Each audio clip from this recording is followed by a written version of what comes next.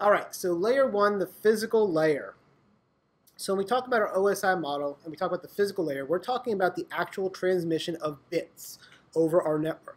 And those bits in a computer are represented by ones and zeros. That's how everything in a computer sees it. It doesn't matter if it's an image or text, it all gets broken down to ones and zeros at the end of the day. Um, the physical layer is going to talk about the physical and electrical characteristics of the network. So how are our bits represented on the medium? Uh, what are the wiring standards for our connectors and our jacks? How is our physical topology laid out? Is it a star, a ring, a bus? How are we going to synchronize our bits for sending it? How are we going to utilize our bandwidth? And how are we going to multiplex so we can get more information over the same media at the same time? So with our bits, we have to talk about how is it represented on the media that we're dealing with. So if we're dealing with copper, for instance, we're going to have that as an electrical voltage. If it's fiber optic, we're going to have it as a light, either an on or an off. So in the left-hand side here, you can see that we have a um, two different ways of doing it. One is called current state modulation, and one is called transition modulation. in current state modulation, if you have a zero volt, then zero is going to be represented. But if you have a positive or a negative 5 volts, then a 1 is represented. And you can see that as uh, shown in the graph here. So every time we have a zero voltage, we get a zero. Every time we get a positive 5 or a negative 5, it's represented as a 1 and same thing as we keep going through. On the other hand, with transition modulation, it looks at it based on when does the state change. And so here we have a zero volt, and it stayed at zero, so it stayed at a zero. Then it changed to a one to a positive five volt, so it became a one. It stayed at positive five, so it stayed at zero. Stayed at pos and then it switched down to negative five, so it became a one. And every time we changed voltage, we get a one, and every time we stayed the same, we got a zero. Uh, So that's just a very big overview of how bits are represented in a copper wiring. Um, do you need to know that for the test specifically? No. Um, it's just good background information for you guys to understand. What you do need to know for the test, though, for certain, is the wiring standards. So if you don't have the color codes memorized yet, memorize them. um, so the TIA EIA standard 568B, if we have B, which is shown here on the right side of the picture, on both ends of a cable, we call that a straight through cable. If we have an A and a B, that is going to be what we call a crossover cable. Straight through cables use B on both ends. Crossover uses an A on one side and a B on the other. Okay. Uh, we are going to talk more about these wiring standards when I get to the Ethernet module. Um, for now, just remember that B to B is straight through, A to B is a crossover. You will see test questions, um, possibly even a simulation that asks you to build a cable. Okay, so they would give you the eight strands of wire, uh, which are referenced like we see here in the B standard, the orange, white, orange, green, white, blue, blue, white, green, uh, green, yeah, brown, white, brown, and you'll have to put them in the right order, pins one through eight. So memorizing that standard is very important, okay? Because if it's a simulation, remember, simulations are graded very harshly compared to multiple choice. Missing one simulation can really hurt you. Missing one multiple choice, you can get over, right? So make sure you understand that. Uh, physical topology. Layer 1 devices view the network from a physical perspective. They don't care about the logical portion of the network at this point. All we're dealing with is how are cables connected. So if I look at the cables and they're all one straight line, well, that's a bus network, right? If it's a big circle, it's a ring. If they're all going back to a central switch, that's a star. Or they can also be a mesh or they can be a, a hub and spoke, right? Um, again, we, we talked about network topology earlier. Those are the, the five ways that we looked at it. But when we're dealing with layer one, we're all talking about the way it's physically cabled. We don't care about the logical portion at this point. And that brings us to synchronizing bits. So when I'm sending all this data over the wire, how do I make sure that both systems are receiving and sending at the same time? Well, there's two different ways that we can do it. One is called asynchronous mode, and one is called synchronous mode. With asynchronous mode, we're going to use what's called a start and stop bit to indicate when transmissions are ready to start from the sender and get to the receiver. Um, in synchronous mode, instead, we're going to do things synchronously, which is based off a time signature. So they're both going to use a reference clock and coordinate their transmissions. So with asynchronous, if you think about it like um, the old walkie-talkies you played with as a kid, right? You would say what you had to say, and then you'd say over, right? That said, hey, that's my stop bit. I'm done talking. Now you can talk, right? That's the idea of asynchronous. We have to tell it, I'm ready to start. Here's my message. Okay, I stopped and that way the next guy can go. With synchronous, we don't have to do that. It's just like uh, when you come to class, right? You know that class is from starts at noon. And if you're sitting in your chair at noon, at noon the instructor should get up here and start talking. Um, we're all working off the same clock schedule. Whereas if we did asynchronous, if you ever do asynchronous learning online, they usually put up modules or discussion boards or something for you to do, and you can do it on your own time whenever you want. You don't have to be there at the same time as the instructor. With bandwidth usages, we have two different ways we categorize things. We have broadband and baseband. Okay, you guys have probably heard the term broadband before. Uh, it's used heavily in marketing by Xfinity and Comcast and Time Warner because they're cable TV providers. And so they say, hey, get broadband internet, right? As if that's going to mean that it's a faster internet than baseband, which doesn't necessarily is not necessarily true. It's just the marketing that they've done. But what broadband does is it divides your bandwidth, your total available, into separate channels. The way I like to think about this is if you look at I-95, right? If we had no lines in there, it'd be one really big one really big road, right? And we can get some really big trucks through that thing. But we separate it into four different lanes. And so everybody can share the one highway with the four different lanes. And depending on which lane you go in is how fast you're going to go. Uh, broadband, broadband does the same thing. So if you look at your cable TV, everything coming into that cable TV, all 300 channels, is coming into you at the same time. But as you tune your receiver, you pull out just the one channel out of that 300 that you want to watch at that time. That's how broadband works. You're using all of the, all of the bandwidth. It's being separated into multiple channels, and each of those channels can be pulled out and viewed at a, at a certain time. Okay, um, and that's how cable TV operates for us. Baseband, on the other hand, it's going to use all of the frequency um, and transmit it at a reference clock, so the transmissions are sent and received by the sender. So the way we do baseband, that's things like telephones and Ethernet. So when we do our network traffic inside of our networks, generally we're using baseband.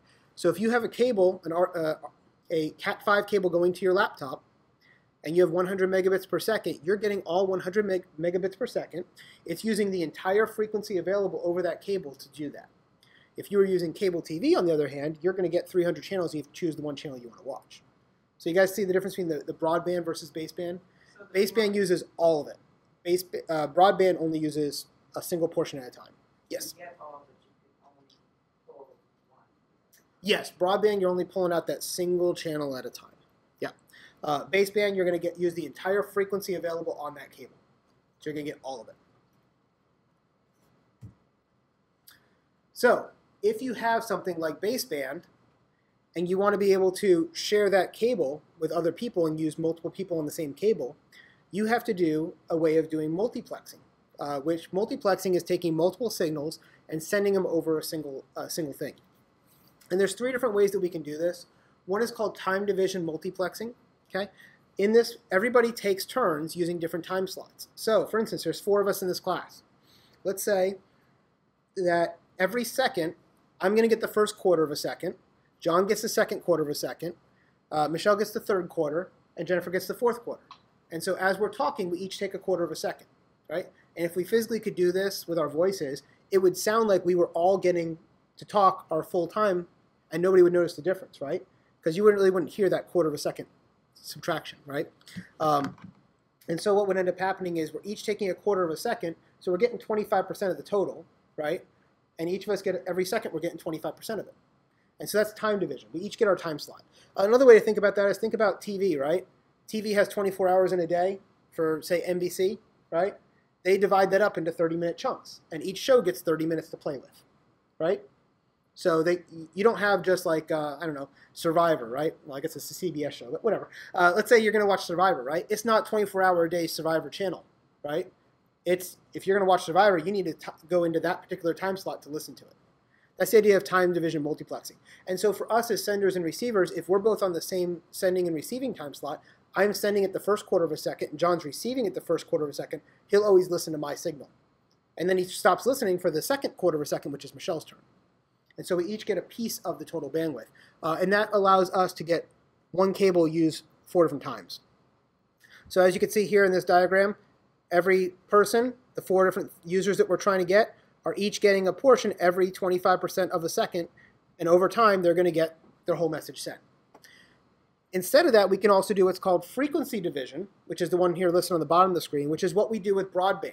So back to that cable TV uh, signal, right? The medium is is separate out into separate frequencies, and each channel gets their own frequency all of the time.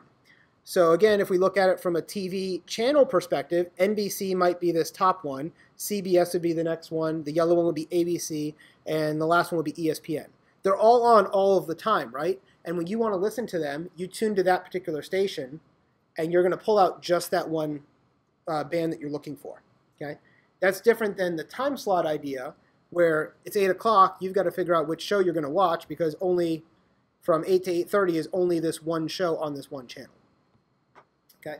Um, the other way we can do this is what's called statistical time division multiplexing, which is a variation of the time division multiplexing. And essentially, those time slots, instead of saying that I get every 0 to 0.25 seconds and John gets every 0.25 to 0.5 seconds, where we have those very fixated quarter of a second intervals, we actually get variable based on the need. And the machines can determine that based on statistical priority. For instance, in this class, I do a lot more talking than the rest of you, right? Because I'm the instructor. And so I probably need more than a quarter of a second. If we're going to split this up, maybe I get 80% of the time, and the three of you guys will all split up the other 20% equally. That would make more sense, right? Um, that's what statistical time, time division multiplexing does. It looks at the past history of how much you've used and adjusts those time slots as needed so that the people who talk more get more time and the people who talk less get less time. Otherwise, when it comes to your quarter of a second and you're not saying anything, we just hear silence. When I could have used that time to put out more messaging. And so that's the idea of multiplexing. Uh, the whole idea and concept of it is how do I get more information over a single uh, cable over a certain amount of time? Okay, so some examples of physical stuff. Physical stuff would be our cabling, our Ethernet, and our fiber optic. Uh, it can also be radio frequency, our wireless, Wi-Fi, and our Bluetooth. As far as infrastructure devices, the things that operate in layer one, which means they are dumb devices. They make no decisions based on logical addressing or machine addressing or any of that stuff. Uh, you have hubs, because again, hubs, all they do is whatever comes in, they repeat right back out. You have wireless access points. Those are dumb devices, okay? Everybody connects into the wireless access point. All it does is it converts the wireless signal to an Ethernet signal and pushes it out the um, RJ45 jack. And you have media converters. And what a media converter does is it converts from one type of media to another. So for instance, let's say I was using a fiber optic network, okay? But my computer here only accepts copper cabling of RJ45. How do I get that fiber into an RJ45 jack? I use a device called a media converter. The fiber goes in, those light signals get transmitted into the copper signal and out to a, a Cat5 cabling for me to use, and vice versa. So that's what a media converter does. It converts from one media type to another either wireless to Ethernet, Ethernet to fiber, fiber to you know one type of fiber to another type of fiber. All those type of media converters exist. Um, the other device out there that you'll see is what's called a repeater, uh, which is in the old days with, or even nowadays with the RJ45 cabling with uh, Cat5 cabling. You have that 100 meter limit. Let's say I had to make a 300 foot run, or that's probably a bad example, 300 meter run. What I would do is I would go about 90 meters, put a repeater which would repeat the signal, boost up the signal, send it out another 100 meters. Then send another repeater and boost the signal, and then send it out again. And you can keep doing that as much as you need to to make those long runs. Or I could switch to a medium that's not copper that would actually support a longer run. But if I need the signal won't diminish because it's a powered repeater. It takes whatever it receives, boosts the signal back up, and then sends it out again. That's the whole purpose of having the repeater. And one of the things when you design your infrastructure, when we start putting switches in, in buildings, is you decide where those switches need to be because switches can act as a repeater for you. So every time you hit a switch or you hit a hub, uh, your signal gets reboosted and that 100 meters starts over again. And so that's one of the things you have to think about with your infrastructure to make sure you're not going over that physical limitation.